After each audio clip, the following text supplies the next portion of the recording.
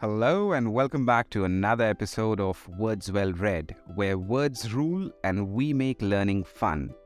Today, we are going to unlock the meaning of two common idioms. Let's get started. Our first idiom is shape up or ship out. Shape up or ship out. This phrase is often used to tell someone to improve their behavior or performance, or face the consequences of being removed or excluded from a situation.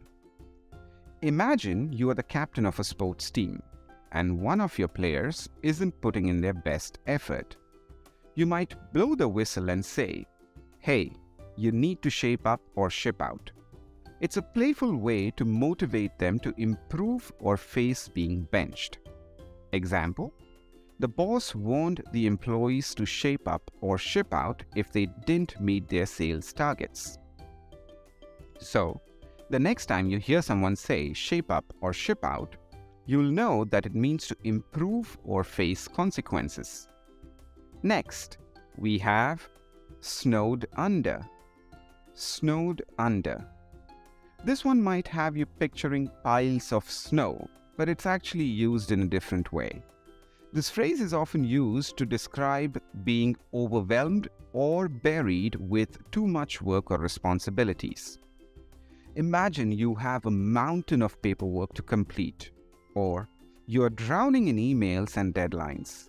You might say, I am snowed under with work. It's a fun way to express feeling overwhelmed. Example, she couldn't attend the party because she was snowed under with deadlines at work. So, if you're feeling buried in work, just remember you're not alone. You can use the idiom snowed under to express your overwhelming workload.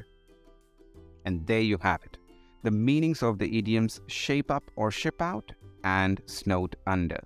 I hope you enjoyed watching this episode. If you did, don't forget to like, comment, and subscribe for more fun filled episodes. Thanks for watching.